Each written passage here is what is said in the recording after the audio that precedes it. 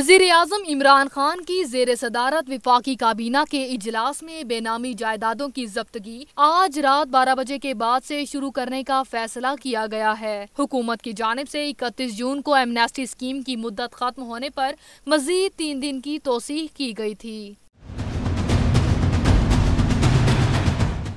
Be are کے مطابق ایسے ڈیکلریشن سکیم کا آج آخری دن ہے۔ رات بارہ بجے کے بعد سے بینامی اداروں کے خلاف کارروائی شروع کر دی جائے گی۔ اس حوالے سے تمام ہدایات جاری کر دی گئی ہیں اور انتظامات مکمل کر لیے گئے ہیں۔